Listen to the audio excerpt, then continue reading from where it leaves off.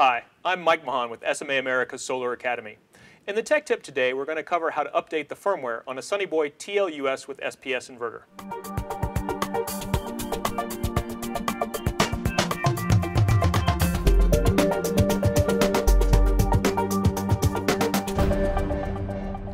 If the system was installed with the WebConnect module, during registration with the Sunny portal, automatic firmware updates are enabled. This allows the homeowner to get the latest and greatest firmware for their inverter without any interaction whatsoever. If for any reason it's desired to perform a manual firmware update, there are two methods to accomplish this. The first uses SMA's free Sunny Explorer software and the WebConnect data module, and the second requires only an SD card loaded with the latest firmware. For both methods, you'll need the most recent version of the firmware, which is available as a free download from SMA America's website. Simply go to the products page for the Sunny Boy TLUS with SPS, to the Downloads tab, and the Firmware section. On the product page for the TLUS, simply scroll down, click the Downloads tab,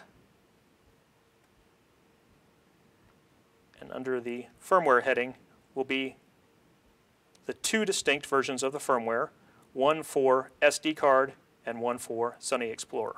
The method to update the firmware with Sunny Explorer is the most direct, so we'll cover that first. Now it's important that you choose the installer level access, you will not be able to perform the firmware update using user level. So I'll enter the password for our plant for installer level access and click next. But here we have access to our plant with our Sunnyboy TL-US with SPS. We see that it is functioning, putting out about 2600 watts. To perform the firmware update, simply go into the Tools menu and you'll see Device Update. Select that, and then you need to direct the program to that UP2 file. We've saved that the desktop in the folder, the update folder. There is the UP2. Select that and click Open. The update file has been loaded.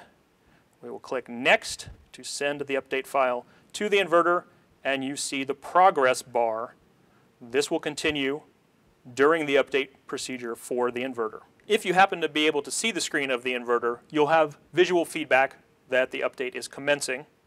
Something like update communication will happen. You'll see in the Sunny Explorer window, the inverter will stop exporting power for a short period of time and reconnect. Once the inverter has completed the firmware update, it will show back up in the Sunny Explorer screen. The display of the inverter will show the new firmware version, but you can also check under the Settings tab in the Type Label section the version of the firmware. It's right here as Software Package, and we can see that we have 2.62.3, so the firmware has updated successfully. At this point, the inverter has reconnected and is producing power, and the firmware update is complete.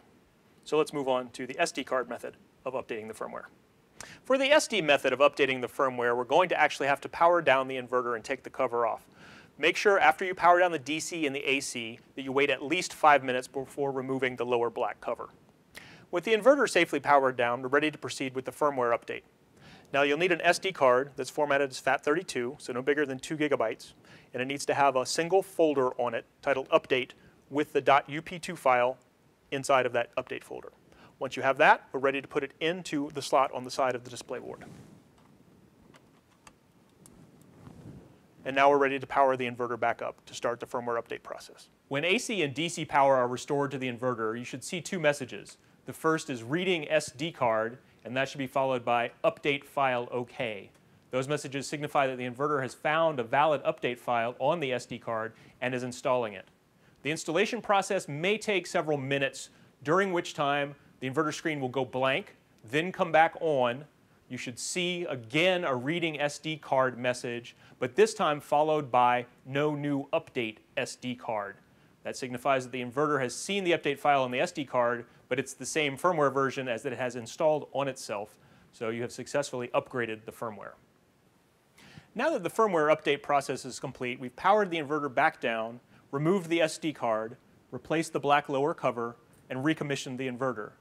We can verify that the firmware version is correct by tapping on the display, which will cause the firmware version to cycle through on the display, like so. There we see 2.62. That's it for this tech tip. I'm Mike Mahan from SMA America Solar Academy. If you'd like to learn more about the Sunny Boy TLUS with SPS, please visit our website, sma-america.com. Thanks for joining us. See you soon.